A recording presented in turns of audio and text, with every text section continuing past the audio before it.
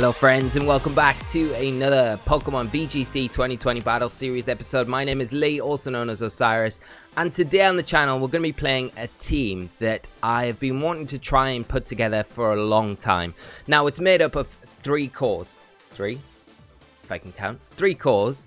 Um, we've obviously got the Dragapult, the Coalossal, uh, the fast mode there. We've been known on the channel previously playing a very slow Trick Room Coalossal, uh, but we're playing the faster variant in this team. Then we've got a hard Trick Room mode behind that. We've got the Hatterene and the Indeedee, and then the star of the show, not the Dusclops, but the Dusclops is a big part of it, but the Snorlax.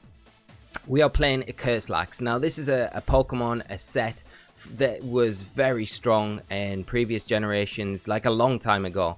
Um, you may have come across the term Curselax, and I'm not talking 2017, it's way before that. Um, and I think it'll actually work quite well in this format. Maybe not as an upfront kind of Dynamax Pokemon, it's obviously got the option there, but I think to slow games down and just be a real nuisance in the Trick Room. You get a couple of curses up and you're going to be hitting super hard. You're going to be tanking things because of the thick fat ability. There's a lot of fire, there's a lot of ice going around at the minute, so helping Snorlax out. And generally it is bulky anyway. So that is why I put this team together. It makes a lot of sense, you know, the Snorlax has a lot of trouble with fighting types in the format. Um, and we've got plenty of things to kind of put those those Pokemon up. So hopefully the team works well. It's going to be a lot of fun. There will be a rental code at the end of the episode, so you guys can grab this team, try it out on the ladder. Be a lot of fun. And um, yeah, let me know what you think of it because I always love Snorlax. Um, I tried the Belly Drum set earlier in the season and you know I wasn't really too keen on it. Um, you can always try this with a Gmax Snorlax. I've not opted for that in this team because you know, most of the time we're going either Gmax Coalossal or Gmax Hatterene. I didn't think a third Gmax on top of that. Uh, although we have got three cores, so it would make a lot of sense that we do that. So maybe later on, um, if we make a variation of this team, we'll put the Gmax in there. Anyway, we got our first opponent of the episode playing a team of the Grimmsnarl, Ludicolo, Aegislash, the Gengar, Hitmontop, and Togekiss. So, hmm. What's this team trying to do? Um, obviously, you've got the disruption there with the Grimmsnarl, the screens, the light, screen, reflect, T-Wave for speed control. Um, Gengar probably there with Icy Wind, Sludge Wave. It could be G-Max Gengar, you know, it is available now. Um, what have they really got to get around Coalossal Dragapult? Well, they have mm, not so much, to be honest, because we could get I think the thing is, like, uh, we could get our, our G-Max move off and get the, the damage rolling. Um, Gengar's got to be threatened by Dragapult for sure. We've got the Sash on there, so it's not we're not too worried. Okay. I'm going to just dive in. Coalossal Dragapult. Let's go Dusclops and Snorlax in the back. And um, that's the thing with this team as well. It feels very linear with what you do. It's got three different modes, but you can lead with any one of those modes depending on the team matchup and then have the other mode in the back. Um, so it's a really, it seems super straightforward, super simple. Um, like it maybe shouldn't work. We've just taken three potentially good, strong cores, put them together, and let's see what happens. But honestly, it's not really the case. Um, I promise. I promise. Um, there is method in the madness, and I think it should work. So we've got Gengar, we got Ludicolo coming up up top. Um, now, really, I pro I probably would prefer to get rid of the Ludicolo if I can here. So we'll go for the, the Surf, and then we'll go for the G-Max Volcalith. The issue is the Ludicolo maxes um, and then takes Coalossal down. Okay? But that will not be the end of the world because we just want to start the damage rolling. Because, like, really, our end game at this point is going to be the Snorlax. Uh, get the Snorlax in, under Trick Room, start cursing up. Um, and we've got Rest with a Chesto Berry, so we can actually get... We don't need to worry about having Super Berries or anything like that. Um, we can just start getting our damage rolling straight away. So, there's the Ludi. Yeah, he's coming out. Big boy Ludi. Alright, well, I mean, we're going to get decent damage onto it. It makes sense that you go for this. Um, we are going to lose Coalossal, of course.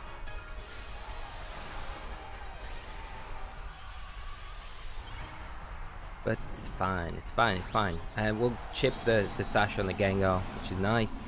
Um, in the next turn, we probably will be able to get the Gengar with uh, Dragapult anyway, so it will not be the end of the world.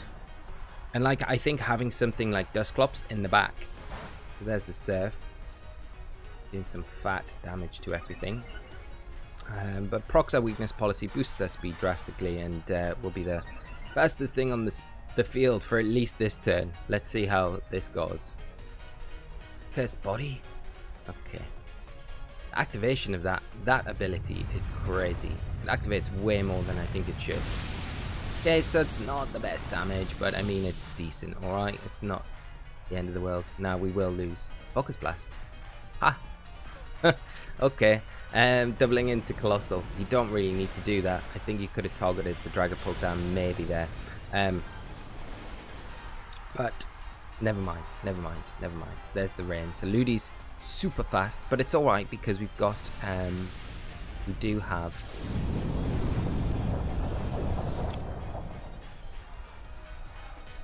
Oh, and it is life orb. Okay. Right and there's the, the damage. So we'll get Dusclops in because Dusclops should take a high. It should. It should take an attack, and we could Dragon Darts here. Um, I think we're probably better off Dragon Darts. It's just that the only issue is we won't lose. Um, we probably won't take the Gengar down with the Dragon Darts where we will with the Phantom Force, but going for a Phantom Force allows my opponent to kind of switch the Gengar out the next turn where we could take this opportunity to get Dragon Darts out onto the field um, and get a Trick Room up. Or we could just Phantom Force. Uh, it's tricky. I mean, we could Surf as well. Let's just Dragon Darts. Um, and we, I mean, we could Ally Switch as well. But it's better off if we go for the Trick Room. If we can get a Trick Room up, that helps us out so much. Max Hail. Okay, well that's into Dragapult. I think the thing to fear here would be uh, Taunt from the Gengar, of course. If we see a Taunt, that changes everything. Um, the hail is going to come down. So the Ludi's not as fast this next turn. Uh, we will lose Dragapult, but it gives us a free switch. If we can get a Trick Room, it does give us a free switch into um, Snorlax. Yeah, not quite enough. Okay, but Ludi might actually go down with the Hail Chip. Ooh, just Shadow Ball. Perfect. Excellent. This is what we want. Okay. Um, these two Pokemon might go down here. To the residual damage and the Hail Chip. So we'll see, we'll see, we'll see. It's going to be enough. Either way, the Ludi is going to be very close to going down the next turn anyway. Gengar definitely goes. Oh, it's so close. So close. Okay. Well, Gengar goes down. So, that's fine. Right. There's at least two Pokemon down. Now we can bring in the star of the show. So, I, I guess, you know, like, our return isn't that bad um, here. But, like, our two leads for kind of their two leads. Alright, so we've got the Aegislash coming in. Um, hmm. It's not exactly the Pokemon you want to be seeing right here because it's normally got stuff like close combat, um, things like that, which isn't ideal. But uh, we'll just go for. I mean, we will not reveal the ally switch just yet. We'll go for a Nightshade into the Ludicolo just to get rid of it. We don't want any more max moves. You don't want any more rain or anything like that. So let's just remove that from the field. Let's see what this Aegislash goes for. We do get the curse up, so that's good. Potentially we'll pressure the Aegislash. If it attacks here, depends. Not many carry King Shield though. That's that's the thing. Like, is it gonna? We'll take the close combat now. Ooh, Sacred Sword. Ooh, that's that's that's a better option there because it ignores the boosts and stuff like that. So that ain't so ideal. Hmm. That might not be your standard Aegislash really because uh, do we attack into it the next turn? Hmm. Oh, it's Togs. Togs. Alright, well, we're to see Follow Me. Um, now, we could pull an ally switch and arrest. Probably the best thing to do, I think, yeah. Yeah, we'll throw the ally switch out now because it starts, it kind, it puts my, um, okay, well, that's, that's still super fine. So, yeah, we're, we're getting the knowledge of the, the King Shield there, so we, we know when to, ooh, and double protect, alright. I'd imagine the Togekiss to just follow me the next turn. The thing about the ally switch here is now as well, it throws a few questions into my opponent's mind about what we're going to do this next turn. Um, now, I think a Nightshade and a Double Edge would probably get the Togekiss. That would be my guess. But do we want to concentrate a bit more down on the Aegislash? The thing is, we can't really with the Follow Me potentially there. That's the problem, right? That's the, the, the whole crux of it. Like, we need to get rid of the Togekiss before we can get rid of the Aegislash. Because we really ideally want to be high horsepower and into the Aegislash, but that's just not going to happen. So we'll go for the double into the Togekiss. And then we should still have one turn of Trick Room left, which will allow us to get the Aegislash.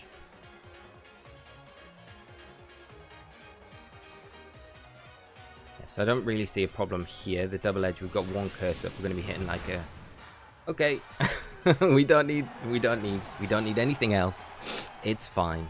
It's fine. And we'll take a Sacred Sword as well if it does come into the slot and my opponent guesses correctly.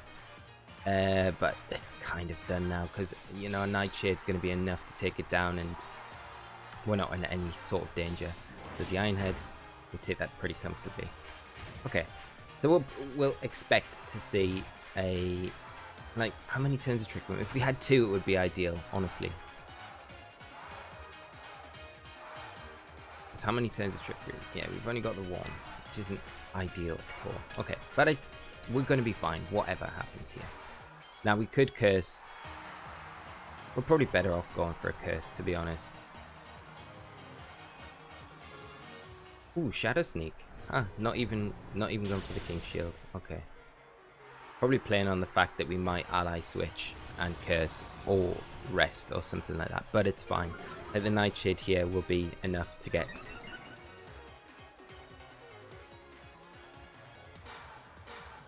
the Aegislash and that will wrap up game one.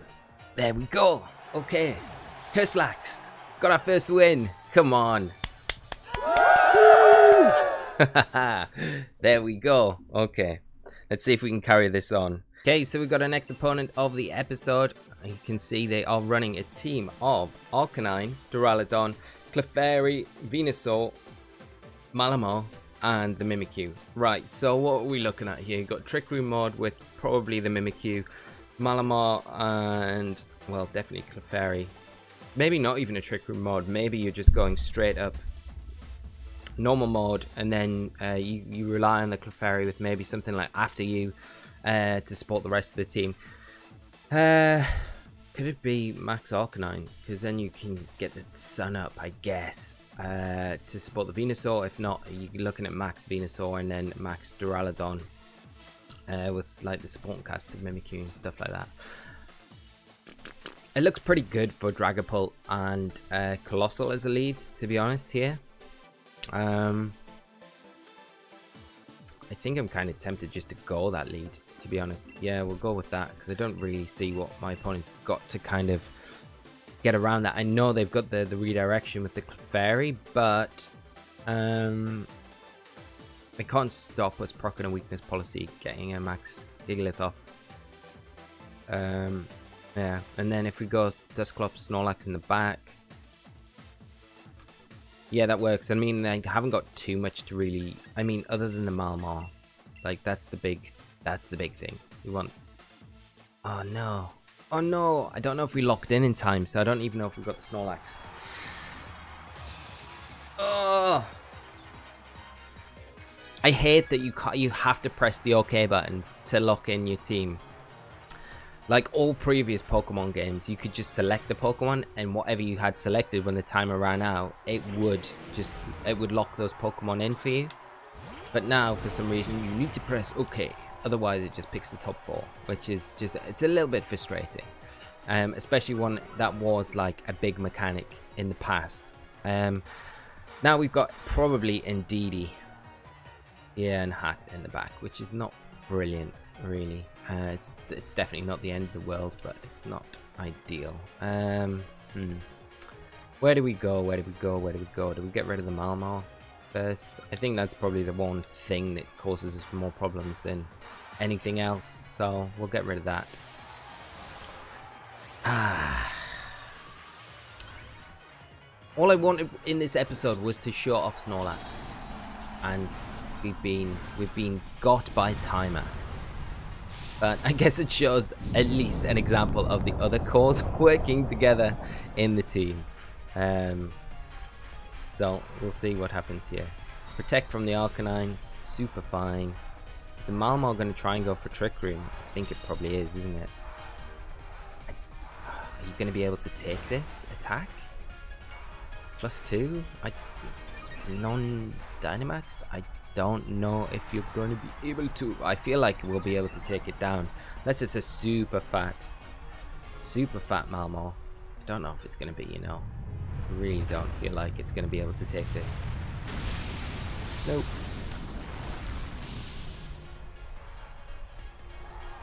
Oh, well, I mean, we do get the crit. I would be interested to know if that took it. I would think it probably took it down. I don't know if the crit really mattered there. Um, anyway, we've got call set up, so this might be quite a quick game. Because uh, we can take down the Arc the next turn, or whatever comes in, really. That's Duraludon. Okay, well, this thing is probably going to max, isn't it? Uh, we'll just Dragon Darts. Uh, and we'll go Max Flare into the Dura, Duraludon.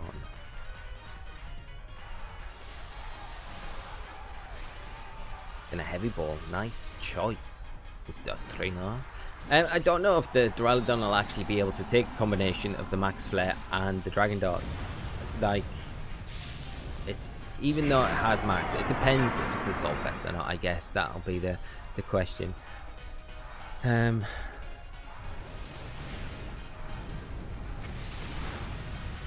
Yeah, I mean, that's a big fat chunk of damage, isn't it?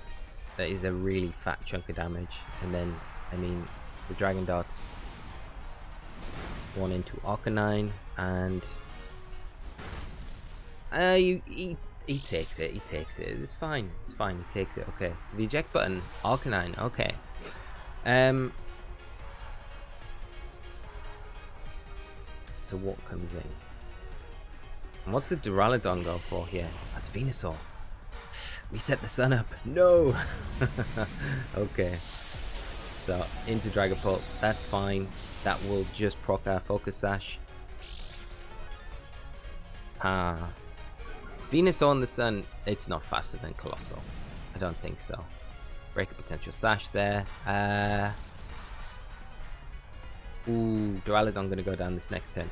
Um, so, we'll just Dragon Darts again and we will go for a, another max flare into Venusaur. Hope that we're faster than it. I'm kind of, I'm confident that we're going to be faster than Venusaur in the sun.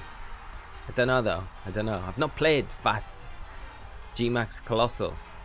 Like I've been playing Trick Room all season. That's all I've been playing. I don't agree with the max guard there because you go down to the residual damage anyway. Uh, we do see the sleep powder come out. It is into Coalossal. It's not the end of the world though. Um, get the Dragon Darts. And like I said, the Duraludon go down to the max Volcalith uh, residual damage, the rocks this next turn. Get a nice chunk of uh, Dragon Dart damage there. And the Venusaur is going to be very close to going down as well. Uh, one more turn. So it's pretty much game over for my opponent. Unfortunately, this lead is just just dumb sometimes because if you don't have an answer to it then it, it's, it's extremely hard to get around I mean you can see how explosive it is from the start you've got like Dragapult next to it as well, just chucking Dragon Darts out. So it's a really good example of just kind of spamming a combination um, and getting around it that way. So Arcanine gonna hit the field. Um, I mean, we can't protect Dragapult. It's going to be the, the Sleep Powder target this next turn. And we could potentially just be a little bit cheeky and switch in Indeedee and uh, go for an Ancient Power into the Arcanine. Just to get catch the Sleep Powder coming into the Dragapult. I suspect this next turn um, to stop any damage coming out from Dragon Darts. Well, it's not really going to make too much difference because I think, well, the, the Volcalith additional damage onto the Venusaur takes it down, and then Arcanine's got like, well, it's Arcanine versus the world at that point, isn't it? So, ain't really much you can do. Oh, Earth Power. Okay. Okay. Like that. My opponent coming back into it. Slightly. Heat Wave. Yeah. Um, Venusaur going down though. And then Arcanine is just fodder for Dragapult. And the Sash is like super good on like this sort of build as well on Dragapult. It just gives you that security against any sneaky Scarf users that are trying to kind of snipe you before you get the Surf off um, on Dragapult. Um, on Coalossal, I should say. Okay, so let's go for a helping hand. Dragon Darts. I do love Dragon Darts as well. It's like it's such a cool signature attack, isn't it? It's a really strong attack as well, especially with VG. It definitely was a VG design design move, wasn't it? And uh, we do need to. Okay, well there we go. Uh, good game to my opponent. Very quick one. Um, we got a bit hacked out with our um, choices there, but never mind, never mind. So we'll go on to our next one and see if we can get this Snorlax working at least one more time. Okay, so our next opponent, we are going up against Yu Chen, and they are playing a team of Hitmontop, Tyranitar, Dracozolt, the Sylveon, Indeedee, and Oranguru. So, an interesting kind of concept here with my opponent. Got the Trick Room element with the Oranguru, um, and that's about it for speed control outside of the Dracozolt that could potentially max and go for max Airstreams like we not to. Um, probably Pokemon that you're going to see max, Dracozolt, uh, Tyranitar, maybe Sylveon. I guess it's going to be more Dracozolt and Tyranitar. So, this makes me want to go with probably more along the lines of, hmm, yeah, Indeedee's going to be really important for us here because I think the thing that we need to keep in mind is the Oranguru with Instruct. Um, could be a little bit of a, a problem for us. Um, So what do we want to do? Do we want to go Indeedee Hat? Probably, probably a better option here. We just need to be careful about potentially Oranguru reversing the Trick Room turn 1, I guess. Um, Hitmontop a little bit tricky for Snorlax. But Hitmontop tends to lead rather than be in the back. Um, so we'll see, we'll see, we'll see what we're going. I think the thing that scares me a little bit is the Oranguru. Um, if we can kind of try and remove that initially, um, then they've really got no way to reverse the Trick Room or support their Pokemon as well. Uh, the Indeedee obviously is a bit of an issue for us um, with their redirection, which we're going to see right now. Okay. Uh, I mean, we just get the Trick Room up, right? I think that's like that's like mission number one, okay? We get we get our trick room up. Um I think we have to follow me here. We don't want to be taking anything from the Dracozolt right now. There's potential of like helping hand on the Indeedee. Um, and we don't even need to max Hatterene straight away if like if we're in a decent position going into next turn, yeah, there's the helping hand. So we're gonna potentially lose our Indeedee. Although the hustle ability, it has got that, could come into play, and we could get a little bit lucky. It'd be nice to keep in Indeedee for the next turn as well, but I don't see that happening. Yeah, no way we take that. Okay, but we do get a trick room up, and now the follow me shenanigans will start from the opposite side of the field. Uh, oh, that room service. Oh, okay. Um, let's get Snorlax onto the field because we can start going for curses, right? Room service Dracozolt. Hmm. That's interesting. Super interesting. Let's Gmax. Yeah, let's Gmax Smite. I'm gonna go into the Dracozolt. Uh, if they don't follow me, then I don't think Dracozolt's slow enough with one speed drop to underspeed Hat or Snorlax in a Trick Room. Um, I can see why it's a it's a good item, but I think you've got to pick it right. I think something more like Iron Ball will give you a better chance of underspeeding, but even then, you really need to be like around base 60 speed to kind of underspeed base 30s. Um, minimum speed, so I don't think, I think Dracozolt's what, base 75? Just off the top of my head, I'm just trying to guess here, I'm spitballing, but I don't think it's going to be underspeeding either of our Pokemon. Um, but here we'll probably see the Indeedee go, follow me, um, Dracozolt. Probably go Bolt Beak. But we want to try and get Snorlax set up, like tank this Snorlax. Okay, it's gonna go Max. Which is better, I guess, because, I mean... Not really relying on Bolt Beak then. But it's still got ridiculous power. But we might get lucky with some um, Gmax Smite confusions. We've not had the confusion hits we've uh, we've been clamoring for already today. Had none, literally zilch. So maybe this is the match. That's alright. That's alright. So, there's a confusion. Come on, get some hits. Hit yourself in confusion. Indeedy do. Switched out with the eject button. Okay, that's an old trick of ours. Um, well, I mean, they don't have the redirection support this next turn. If this Dracozolt hits itself in confusion, then it's going to be really, really tough for my opponent. get the curse up.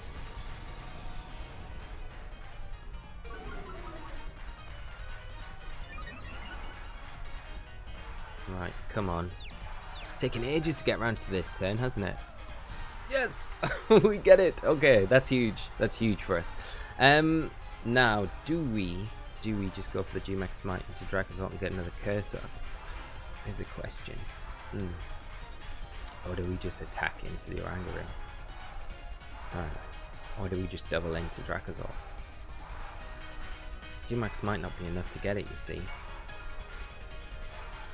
Let's double into it.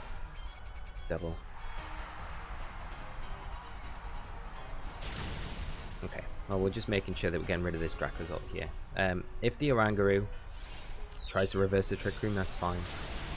Um, that big hit of Confusion, it's pretty big for us, but this is why Gmax Smite is a busted move in general. Okay,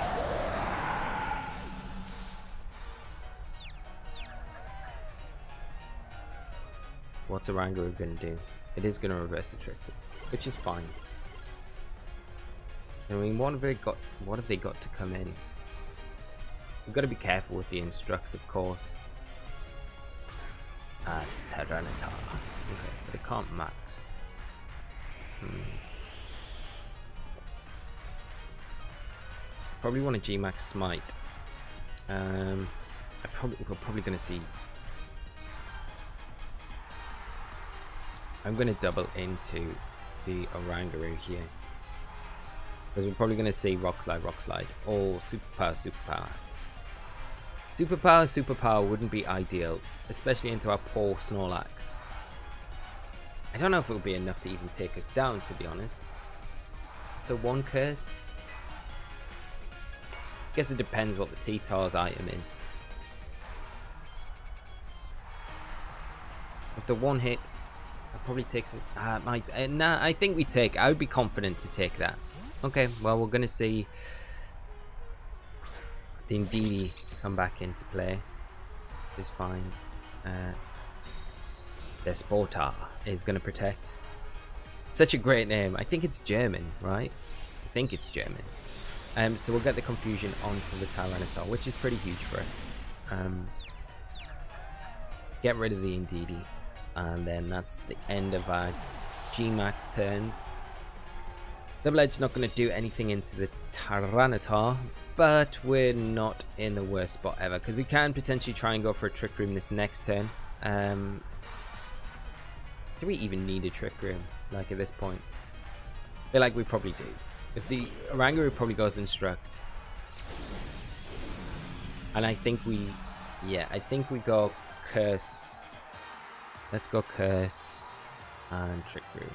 Let's try.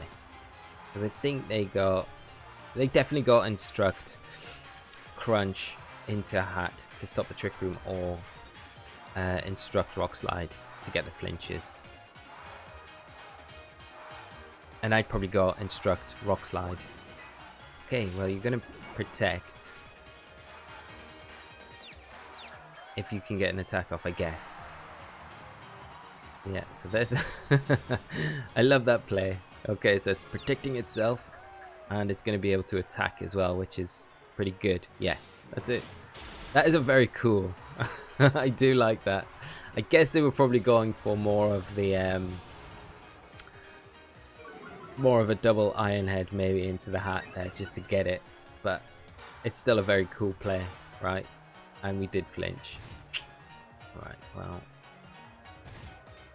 that's fine uh, I think we just attack into a Oranguru now with the Snorlax and try and get a Trick Room off again I think Hat's probably gonna go yeah Hat will go down here do a double iron head for sure and Snorlax might not even get an attack off because we could get flinched again. Like all these Iron Head, Iron Head flinches could just continually happen. There's the Instruct. Yeah, gonna lose Hat. Snapped out of its confusion, so no confusion hits there. But we got the one one hit of confusion that was really important, right? So we can't complain. Um, I think that's fair enough. As the Iron Head doing Nothing. See how much this does. Wow.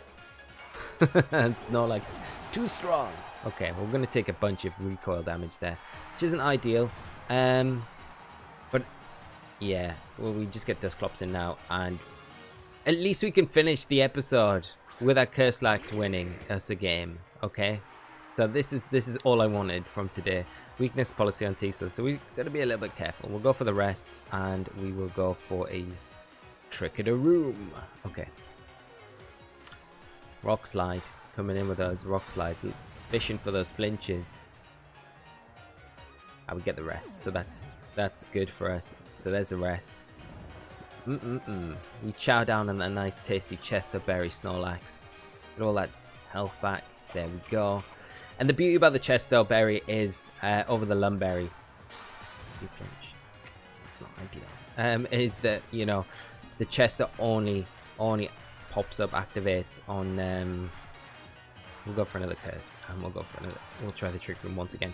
It only activates on sleep, so with the lum, it activates on any stats condition. So we're really specific here. We only want it really activating on that rest turn, and it's obviously good against uh, sleep spam and things like that that we do see in the format as well. Uh, my opponent going for a crunch here. We are going to guarantee our trick room up now. We'll get another curse up, um, and yeah, I think the next turn to avoid avoid proc and weakness policy.